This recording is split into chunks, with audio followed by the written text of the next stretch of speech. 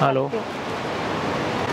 कौन हाँ विवेक excuse me विवेक यहाँ क्या कर रहे हो? चलिए जाइए से मेरे पास चेंज नहीं है। क्या बोला आपने? मेरे पास चेंज नहीं है आप जाइए ऐसे मेरे घर के नीचे।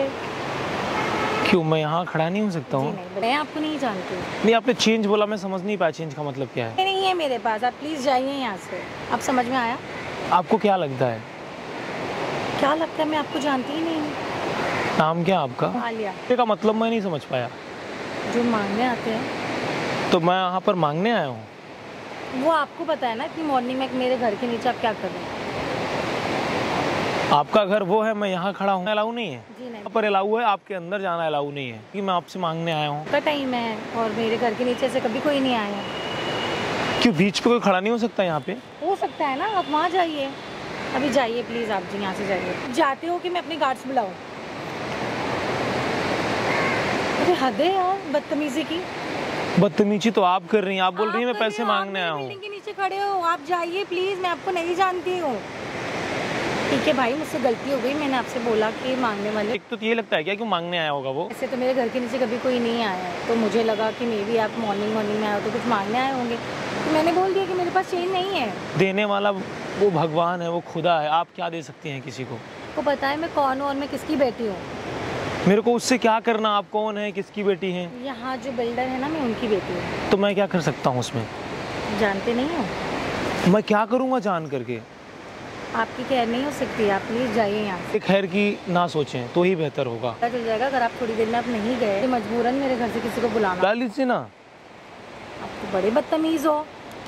आप बुला लीजिए मैं तो बोल रहा हूँ आप क्यों नहीं बुला लेती हैं? बोल रही हूँ आप जाओ यहाँ से नहीं तो आप पिटे जाओगे। नीचे आके ऐसे क्यों बदतमीज? घर से मैं किसी को बुलवा के आपको पिटवा दूँगी। नीचे तो आप कर रही है ना। मैं आपको मांगने वाला लगता हूँ। पहले आप अपनी औकात बनाइए। ये मुंबई है। आप जैसे लोग यहाँ पे बहुत आते हैं और बहुत जाते हैं। समझे आप? आप क्या बोल रहे हो पता आपको? मैं रिपीट करूँ वापस? आप बोलो तो मैं रिपीट कर देती हूँ। हाँ रिपीट कर दो आप। ये मुंबई है। आप जैसे लोग यहाँ बहुत आते हैं और जाते हैं। आप लोगों की कोई यहाँ पे औकात और वैल्यू नहीं है। आप तो ऐसे लग रहे हो कि कोई गाँव से आए हो। इतने अच्छे लगते हो इतने डिसेंट लगते हो। रही बात औकात की ना तो आपकी बिल्डिंग खरीदने की मेरी हैसियत है। ये बिल्डिंग मेरे पापा की है तीन सौ करोड़ की। जी जानी कितनी बिल्डिंगें हम गाँव में बनवा के छोड़ दिए हैं। गाँव में ये मुंबई कंसंस के लिए बता दूँ मेरा 700 करोड़ का यहाँ बंगला है और बगल वाला मेरा है। अपने पिताजी से पूछ लीजिएगा बीके मिश्रा कौन है? तो पैसा मत बताओ कि मुँह से पैसे की बदबू आ रही है। पैसा मांगने वाला लगता हूँ मैं। वट डू यू मीन क्या मतलब है आपका? आपने पढ़ाई कहाँ तक की है? कहाँ तक की मैंने आईटी कर रखा है। आईटी का मतलब जानते हो ना? आपसे कभी नहीं हो पाएगी। तो कहा है कि आप जाओ आप यहाँ पर मांगने आए हो। वट डू यू मीन मांगने का मतलब क्या है? कहाँ से? अरे मैं कहीं से भी हूँ आपसे मतलब नहीं है। बट मैं इधर खड़ा हो सकता हूँ ये मेरा राइट है। आपने अंदर जाके बैठो मैं आपके अंदर नहीं आऊँगा। ये मेरा राइट है मैं यहाँ खड़ा हो सकता हूँ। मेरे घर से बाहर जाओ ये करो वो करो। सही है क्या ये? सात सौ करोड़ का मेरा एक बंगला है। और ऐसे जाने कितने मेरे बंगले हैं? सॉरी मुझे पता नहीं था। सॉरी बोलने से चीज़ें सही हो जाएँगी क्या? आप किसी को पहले बोलते हो पैसा मांगने वाला है उसके बाद आप सॉरी बोल देते हो।